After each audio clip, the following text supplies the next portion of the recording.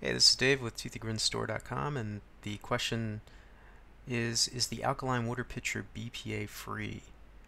Bisphenol A is what BPA stands for, and the answer is yes. It's, it's a chemical that people are concerned about, and the answer is yes, the alkaline water pitcher is BPA free.